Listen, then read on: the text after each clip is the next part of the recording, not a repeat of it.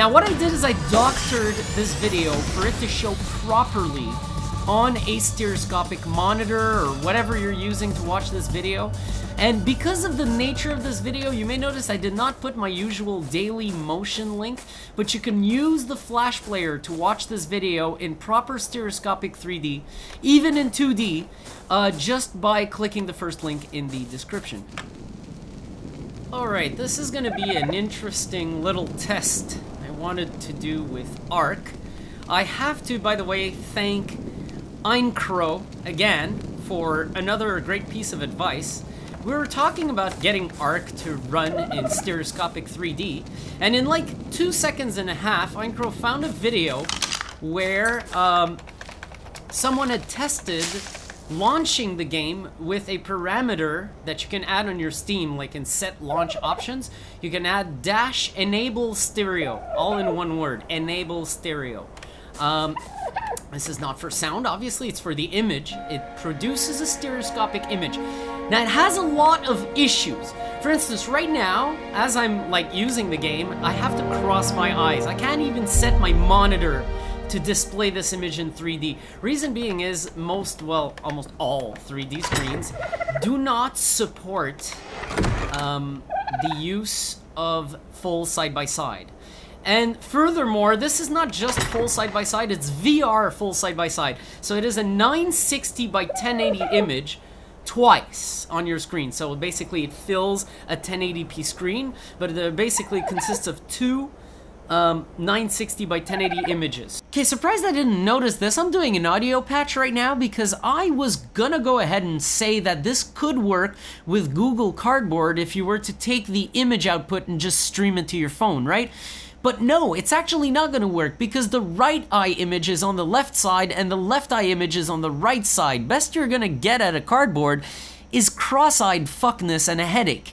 Unless, of course, you can get the game to flip those around, to have the left eye image on the left and the right eye image on the right, then everything would actually be pretty good to sort of stream this to a cardboard unit and play without head tracking.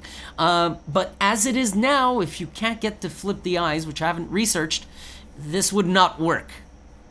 Do I have meat on me? It's very hard to do this cross-eyed. If it if it's unreadable in the Rift, right now it's downright absolutely impossible to read. And I'm sort of understanding why uh, the ARK UI is absolutely unreadable in VR. Look at its size. It is literally one quarter of the size of what people playing on screens get because of this crazy FOV. So, not only is there a blur on the text, but because of it being a quarter the size you'd normally get it on a 2D screen, shit is unreadable, man. Alright, so I did bring up my HUD. I'm gonna eat some meat every time I join in here. This is Stuart, by the way. This is my single-player game, but none of the achievements I did in parts 15 and 16 of my Let's Play are in here, because this is the updated version, the one I wasn't playing uh, during the single-player um, stint that I did for two parts. I also noticed there's a sort of circle in my view uh, when I look at the sun, the glare sort of produces a circle. I never noticed that in VR. It's probably there. From what I'm getting here, I'm essentially getting VR without the final touches like the image warp and everything because I really recognize this. I'm playing cross-eyed right now still.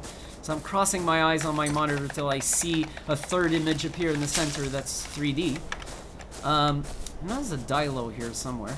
So the graphics probably look better, and I'll tell you why right now the graphics look better in this video than they normally do in my videos. Um, the final touches they apply uh, in VR imply adding chromatic aberration. Now obviously if I were to post my 3D videos with the chromatic aberration in them, it doesn't look terrible. It just looks like you're looking at anaglyph video when it's actually not anaglyph video. It's, it's, it's, messed up. It's better that I filter it out. However, filtering it out causes a lot of aliasing, and I really do apologize for that. It's really out of my power. Try to post my videos as best as possible. I did up the graphics quality a little bit. I do have to say my frame rate on a monitor right now is absolutely unquestionably playable. I think it's yeah, it's hanging very near 60, in fact. So I'm really getting uh, those who have performance issues with this game, I can understand them in VR, or maybe using 3D, but I cannot understand them on screens. There are always ways to get this to work on screens at 60 FPS and 1080p, provided you have a current generation graphics card. I've seen guys like Eincrou with the, the one generation behind, they can't do it. But you can, if you have a current generation graphics card, even mid-end, sort of get there. Um, there's, there's always a way. Like, I could tone it even, I could tone it down some more right now, the way it's set up, to get even more frames. Just I chose not to, because I wanted I wanted to see how it looked like on the screen with a few extra settings added. I have no ground clutter, and that is the that is because I am using Shader Model 4 and not Shader Model a Shader Model 5. I have none of these fucking occlusions. I'm not too hard on the shadows as well, because shadows are very costly in terms of graphics processing. Um, so yeah, this is very um, a very interesting test. It looks pretty good.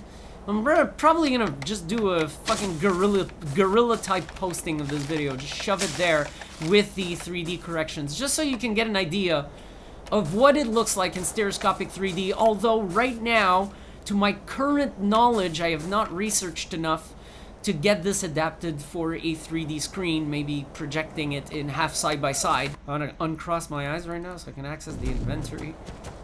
Do a little something. Let's see. Let's see if we could have done this in our past Let's Plays.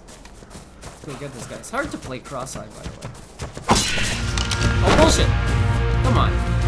One arrow, but one spear hit doesn't do anything. Can I... I don't know, get fucking blindsided here. I'm playing cross-eyed. It's a little fucked up. Let's go kill a dodo cross-eye. It's crazy. This must be my VR senses right now, capable of dealing with this. Every time I look down to my keyboard, I have to uncross my eyes and then recross them immediately. So I'm trying not to look at my keyboard. I kind of like when I play in VR, right? I want to see my keyboard, I need to peek through that nose port. It's worse right now because I have to actually uncross my eyes. Um, but I obviously much prefer playing this in VR because I can actually turn my head. And one thing I cannot do right now, if I were to say go um, cut this tree down, I can't look around while I cut the tree. That drives me nuts. That absolutely, you people who play on screens this game, you're brave people. To me, I admire your ability to stare at a tree and whack it with an axe without being able to look over your back. Uh, that drives me fucking insane now. I can barely play on screens anymore because of that fact. I go paranoid. Uh, it's it's become something that I sadly take for granted. Should not, but I do. I really do. Alright, this concludes the test. I really like this. My eyes are a bit, yeah, wonky right now. It's really not good to cross your eyes like that. I don't think it causes any permanent damage, but I do think you'd actually start getting blurry vision and a headache if you did it. Like in one sitting, you would get problems. I've actually reloaded the game uh, but this time, uh, you may have heard me mention Shader Model 4 many times. That's basically DirectX 9. I've basically launched the game with its default shader model, which is Shader Model 5, DirectX 11. So it's already looking 60 times nicer. And something I forgot to do when I recorded the initial video is to put my frame rate overlay in the video. So you could see how it's, it's performing. The left number is uh, the video frame rate and the right number is the uh, frame rate going to my file. This is actually pretty cool like this. Uh, the graphics of this game in Shader Model 5 are visibly way nicer. Uh, I wonder if they have the problem where the ground clutter... Yep, there we go. There's that ground clutter. This is one of the reasons why I don't use Shader Model 5 in VR. The ground clutter appears over your head. Let me see if um, the options can actually remove that just by putting the ground clutter at zero. Apply. Ah! Yeah, but that took away all the ground clutter, even the one that's not responsible for this problem. Or did it? Yeah, it even took the grass off. Oh no, there's the grass. Okay. Oh, well this is actually good. The other problem is what I get in the caves. There's a sort of sheen on the rocks that appears only in the left eye. And that's the other reason why I don't use Shader Model 5 in virtual reality. Oh, look at this. I'm getting a... Since I turned the ground clutter off, my frame rate's back up by about 5 frames on average.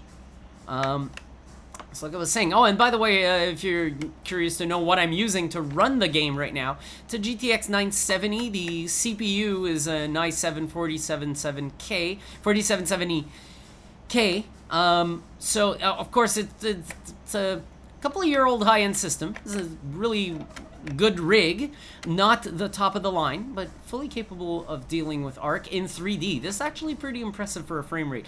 Think about it, this is two in-game cameras each rendering their rendition of the game synchronously, so this is pretty demanding actually. 3D is always much more demanding than 2D. Alright, so that, that was fun. Um, I'll uh, keep investigating, see if I can get this eventually working on screens.